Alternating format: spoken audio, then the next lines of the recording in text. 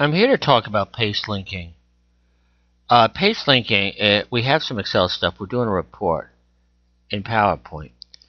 And you have data. It could be changing. And by linking the data, if you make a change in the spreadsheet, it will reflect in the slide. You all know how to copy and paste.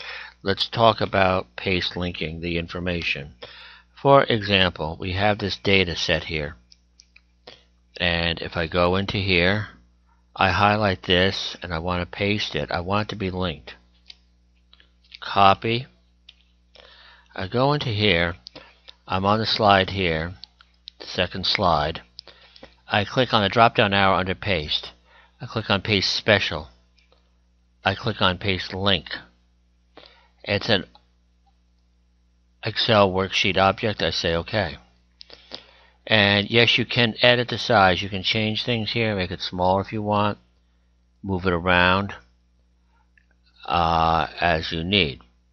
What it does here, for example, it says $25,000 for the first quarter for North America. We go into here, we change this to 30,000.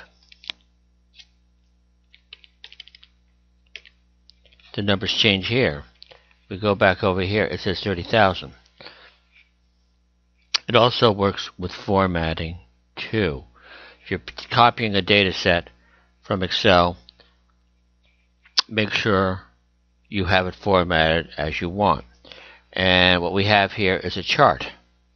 I go into the sales chart page. We have a chart that was created. So if I go into here, I copy it. Again, I paste link.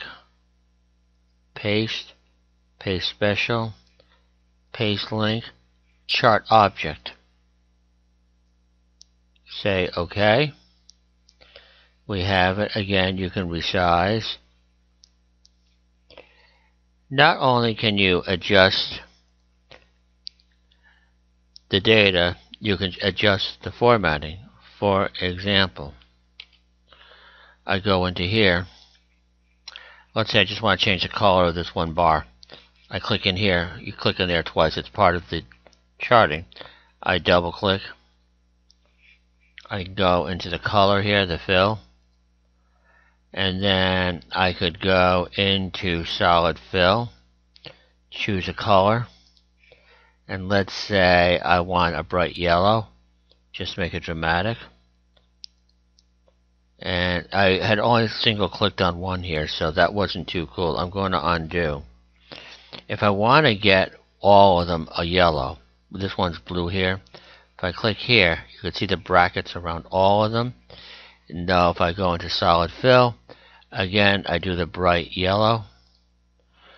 We've got that. We go back into PowerPoint. It also works the same with Word, the exact same way. It's not showing the change in here.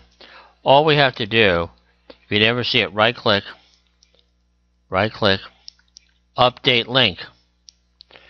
It has it in there. If you were to print it, it will convert it over.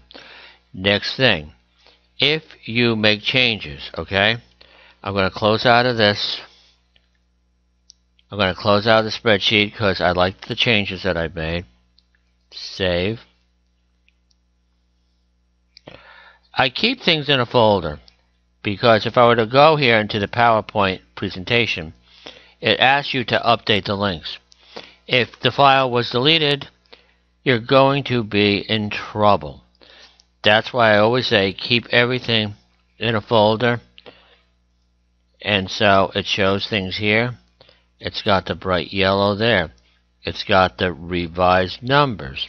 So if we wanted to make one last change here, I'm going to go into the Excel. And then if I change the numbers here, like let's just say $100,000 for the fourth quarter in North America, chart has dramatically changed. Go back over here into PowerPoint. Not showing it. Right click, update link. Everything is showing up. Pretty simple. Understand the paste special, the paste link. Very important, okay?